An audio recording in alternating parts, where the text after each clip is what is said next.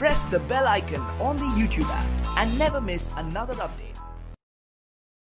असलकुम welcome to my channel technical में चलिए शुरू करते हैं। तो दोस्तों, आज की इस वीडियो के अंदर मैं आप लोगों को दिखाने वाला हूँ कि अपने शोमी मोबाइल में किसी भी सॉन्ग के रिंगटोन कैसे सेट करें। तो इसके लिए आपको अपने मोबाइल के मी म्यूज़िक प्लेयर को ओपन करना है और यहाँ पर आपके सभी सॉन्ग्स आपको मिल जाएँगे। तो आप लोगों को दिखाने के लिए मैं एक सॉन्ग को सेलेक्ट कर लेता हूँ।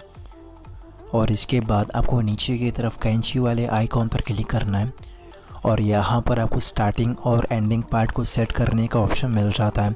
तो आप लोगों को दिखाने के लिए मैं स्टार्टिंग पार्ट 40 सेकंड पर सेट करता हूँ और इसके एंडिंग पार्ट को एक मिनट 25 सेकंड पर एंड कर लेता हूँ। और यहाँ पर आप प्लस और माइनस वाले आइकॉन पर क्लिक करके इसको एडजस्ट भी कर सकते हैं।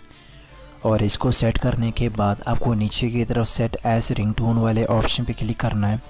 और दोस्तों, ये रिंग रिंगटोन ट्रिम होकर सेट होने में आपको 10 से 15 सेकेंड्स तक का टाइम लग सकता है। तो आपको कुछ सेकेंड्स तक वेट करना है।